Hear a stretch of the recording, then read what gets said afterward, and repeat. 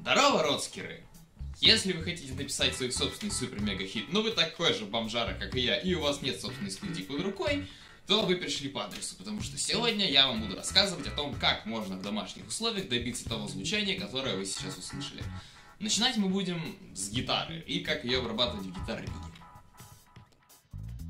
Открываем секвенсор, в котором установлен ваш гитар-риг. Создаем новый проект, создаем новую монодорожку. Заходим в эффекты и выбираем гитар-риг. Не забудьте включить мониторинг звука, чтобы вы могли слышать собственную гитару.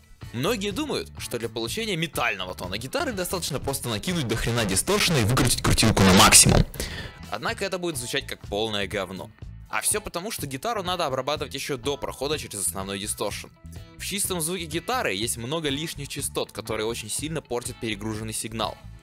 Басы ниже 50 Гц будут сильно бубнить, а верха выше 5000 Гц будут зудить.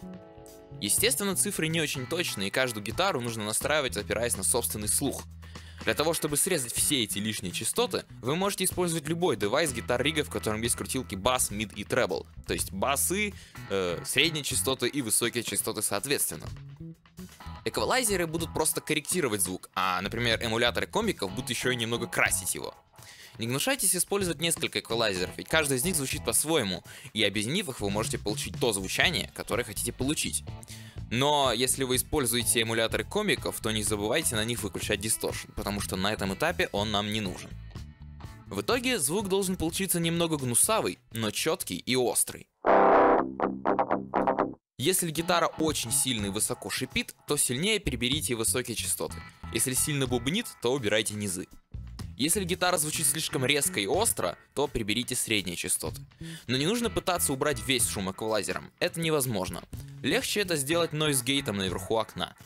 Еще следите, чтобы выходящие и входящие сигналы не перегружались. При перегрузке на них будет мигать красный цвет. Теперь переходим к самому интересному, пауэрампу или дисторшну, называйте как хотите. Будем получать GG короче.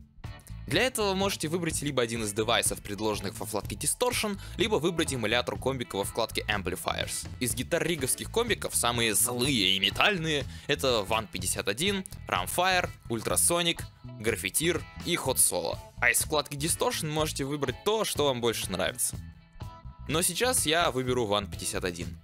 Как вы можете видеть, вместе со стеком гитарик сразу выдал нам соответствующий ему эмулятор гитарного кабинета. Можете его оставить, если он вам нравится, или заменить на любой другой, который вам понравится. На ручках стека вы можете сформировать основу вашего гитарного тона. Ручка гейна добавляет больше перегруза. Ручка бас добавляет больше жира, здесь ее уже можно крутить. Миды делают гитару чуть мягче и гнусавее, а требл делает гитару более кусачей и острой. Настраивать это все по своему усмотрению. У меня пока получилось что-то типа этого. Итак, мы уже сформировали основной звук, но его все еще нужно подшлифовать в разных местах. Можно кинуть эквалайзер после гитарного кабинета, чтобы получить более четкое звучание. Для этого отлично подходит эквалайзер Custom EQ.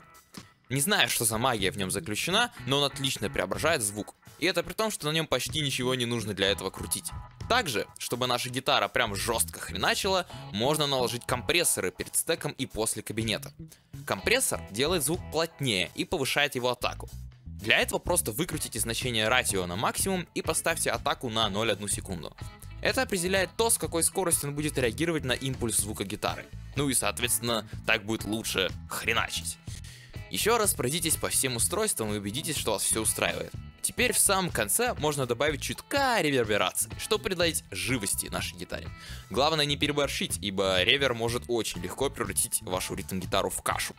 Теперь, когда мы настроили звук гитары, я вам расскажу пару фишек о том, как нужно ее записывать. Во-первых, если вы делаете металл, то нужно записать две одинаковые дорожки вашей ритм партии и отправить их в разные уши. Чтобы сделать звук еще жирнее, можете записать еще две, чтобы в итоге получилось 4.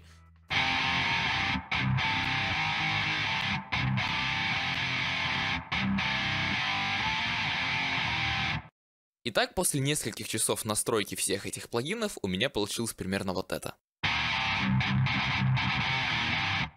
Вам может не понравиться этот тон, но я вам объяснил сам принцип того, как это все работает, и вы сможете сделать свой собственный тон так, как вам захочется.